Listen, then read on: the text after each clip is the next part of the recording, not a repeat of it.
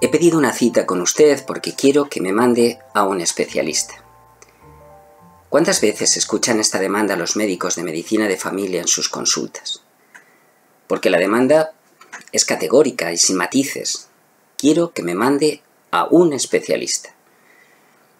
Resulta difícil escuchar a alguno de esos pacientes reclamar que se les derive a otro especialista. En España, la especialidad de medicina familiar y comunitaria se reconoció en 1978 y, entre otros motivos, se creó porque había que nivelar la formación de lo que hasta entonces se conocía como medicina general con el resto de especialidades hospitalarias.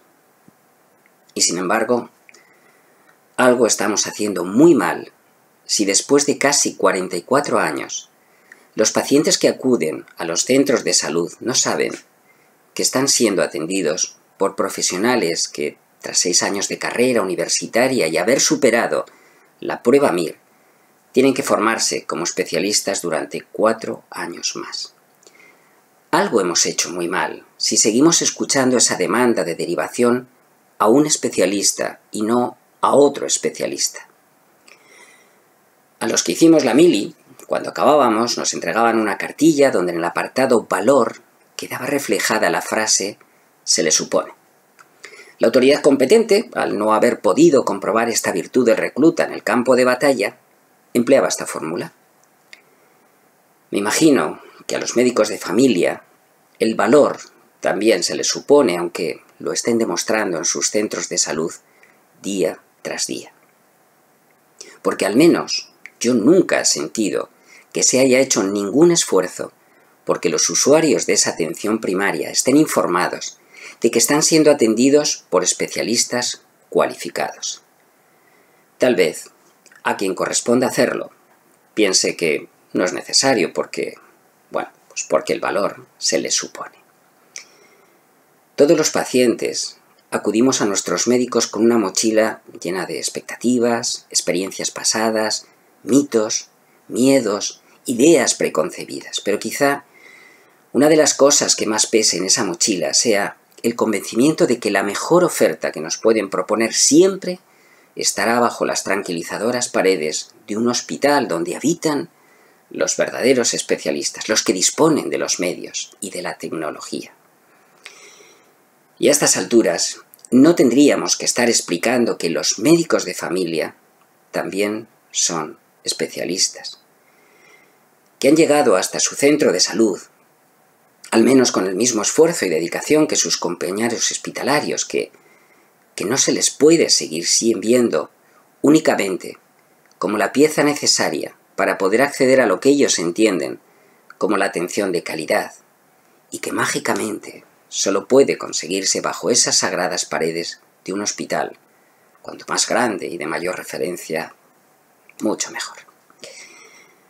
Hay que educar a la población, sí, hay que educarla en que la anamnesis va mucho antes que las pruebas, por muy sofisticadas que éstas sean.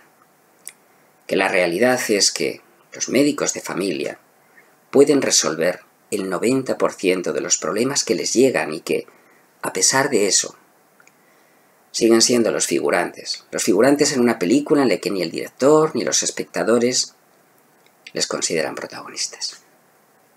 Quizás por eso las nuevas generaciones de médicos no les resulta atractiva esta especialidad. Es la menos demandada, la que menos vocaciones despierta. Aunque se calcule que el Sistema Nacional de Salud necesita unos 10.000 médicos más en los próximos años, 10.000 médicos más de familia. Tenemos que hacer entender a los pacientes que para cortar un árbol tenemos que emplear el 70% de nuestro tiempo en afilar el hacha. Y que mucho antes, mucho antes de pedir un análisis o derivar a otro especialista, habremos tenido antes que mirar, que preguntar y sobre todo escuchar. Y esa es la labor de los médicos de familia porque, porque ellos, ellos son los especialistas en personas. Pero desgraciadamente, a lo que todos aspiramos, a todo que todos aspiramos hoy es a que nos hagan pruebas, Y también, desgraciadamente, el médico, por falta de tiempo para explicar por qué conviene o no hacerlas, claudica, claudica ante esas demandas. Probablemente todos deberíamos tener muy claro que quien tiene que disparar al caballo del malo en las películas tiene que ser un experto tirador, porque la mera buena voluntad puede servir, pero en puestos subalternos, pero nunca en los de responsabilidad. Ahora, solo falta reivindicar que los médicos de familia no son subalternos y tienen la capacidad y la sabiduría para disparar al caballo del malo. Los médicos de familia tienen derecho a su propia mitología y a su propia épica, y por eso necesitamos visibilizarlos, y por eso necesitamos dignificarlos, y aunque solo sea por un simple acto de egoísmo, es que les necesitamos.